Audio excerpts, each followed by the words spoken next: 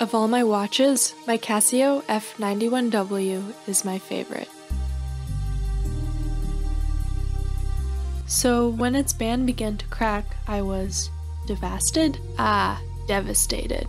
Yeah, makes more sense. My old friend needed some new life. But can I trust 3D printing to fix what has broken? The answer is yes. Yes, I can. It worked.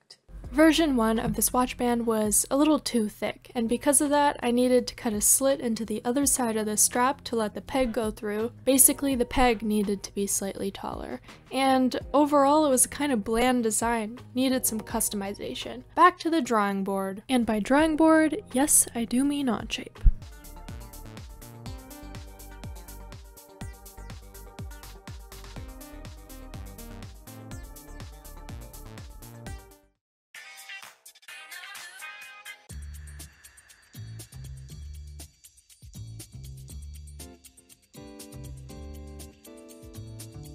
Fix version 2 was where I dialed in some of the flaws in version 1 and noticed where other changes needed to be made. The text looked better printed directly on the build plate, so Strelko needed to be moved. I needed to get rid of one more hole and shift the project date over so that when we fold and sew the strap on later, it will still be visible. And then I'd like to try printing with my blue flex material instead of this white. I'm currently printing what I hope to be the last iteration of the watch strap. So from earlier clips, we've seen that the first version was this 2mm thick extrusion where I had to cut a slit on to let the peg go through. Then the second iteration was this thinner one without the slit, and then we made the peg taller and because it was thinner and made it a lot easier to go right through. This version we also tried a dual extrusion to make the text we added stand out. Through this version I quickly realized adding the text directly touching the build plate makes it look a lot better than this. So the next version, I did exactly that, and the finish looks a lot nicer. We'll consider this the top part of the strap that gets shown the most when I wear it. Playing around, I thought to do two pegs.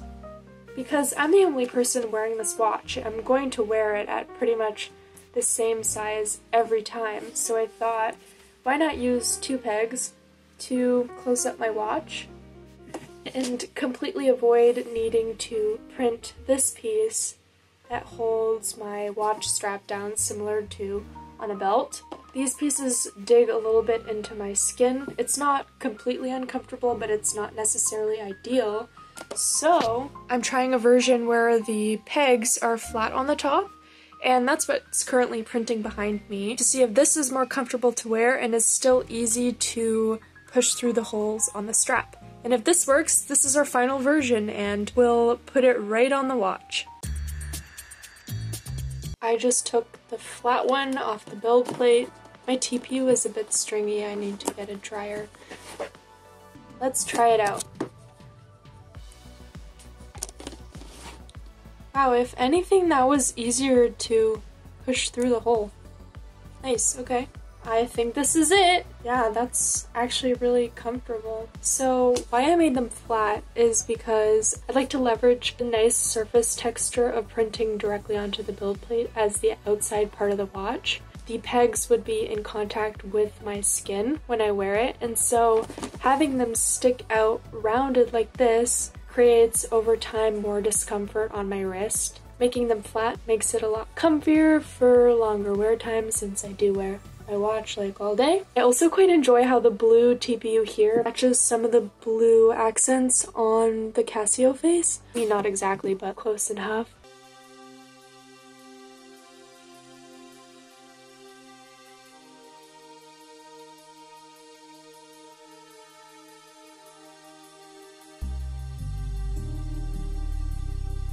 First, I needed to fold over the top skinny piece and sew it closed to create a loop for the rod to go through and attach the straps to the watch. Could I have modeled and 3D printed a channel for the rods? Yes, for sure I could have. The channel would have been fairly small to print, and I would have probably needed to open it back up using a tool. Regardless, I like how the thread accents look. I actually picked yellow and red threads to match the other colors on the watch face. I thrifted the thread I'm using and it's more durable than your average thread. Seems to be coated in something and it's made for quilting. After sewing, I attached the larger strap with the original strap rod. Unfortunately, I lost the other one, so I used a piece of hookup wire as a makeshift rod to attach the shorter strap.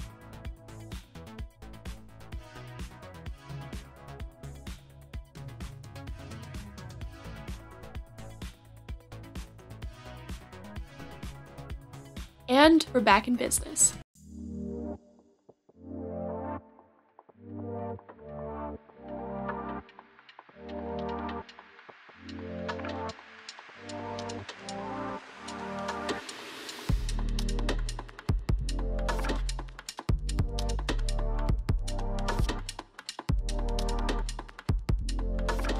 Welcome back, my old friend.